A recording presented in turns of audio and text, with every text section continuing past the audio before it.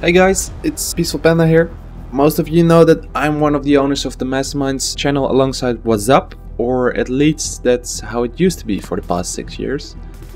I'm here to talk to you today about me and Wazzab quote unquote breaking up and I'm continuing Masterminds by my lonesome and in this video I'll talk about why that is.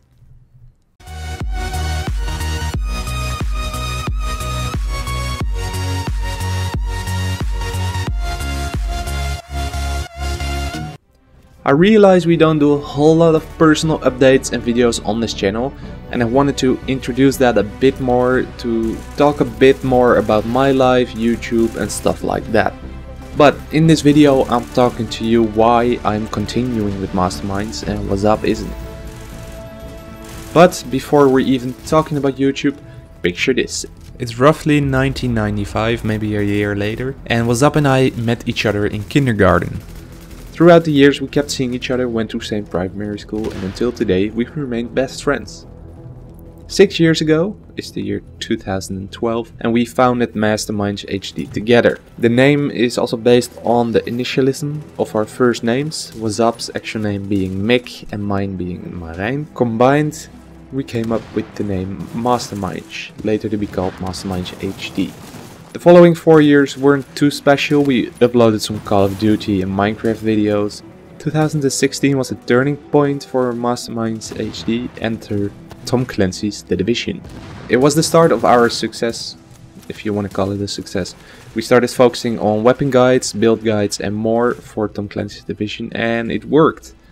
Slowly we started climbing in our subscribers, we reached 1000 first and 2000, 3000 all the way until where we are now roughly 12,500 subscribers, something I think we both are very proud of. However, in these past two and a half years, we started noticing that working together was a bit harder than we thought. We had different ideas when it came to YouTube. I myself was very ambitious and serious about YouTube, sometimes maybe even a little bit too much, even considering it as a job.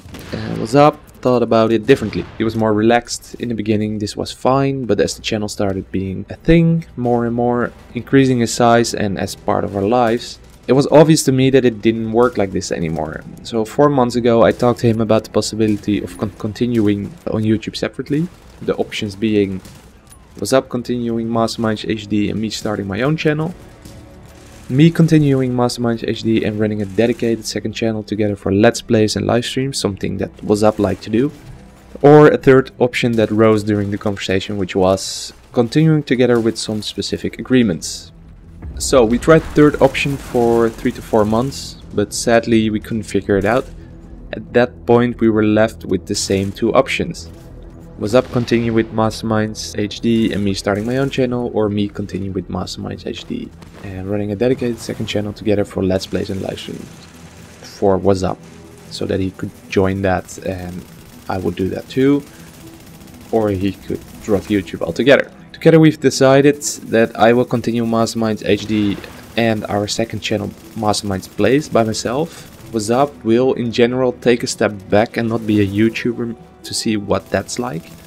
He can always upload on the second channel if he decides he wants that again. And perhaps in the future we can start working together again if we manage to plan it right. I'm not sure yet, we'll see by then. Other than that, we're still best friends. I think we might even be better friends now. This allows us to see each other more often in real life and not just via the computer. But what does this actually mean for you, for the viewer? Not that much. All the content we were uploading, I will continue uploading. Tom Clancy's Division stories, weapon guides, build guides. Those were all my projects. For those who loved our Assassin's Creed Odyssey series, I'm sad to announce it won't continue, but that shouldn't be a shock as it hasn't been posted for the last three months or so. And yeah, that's basically it. I hope it gives you some insight in what's happening behind the scenes of the videos you're seeing. I appreciate you taking the time out of your day to watch this video. Hopefully I managed to update you on the situation, but if you have any questions, make sure to comment down below. If there's enough questions, I will create a Q&A video. Like I said, I want to do these kind of personal videos a little more often so you can get to know me and not just my work. And these can be random topics, behind the scenes footage of me creating certain videos or personal stuff. Time will tell. And that is what brings us to the end of the video. That'll do it. Have a good day. Peace out.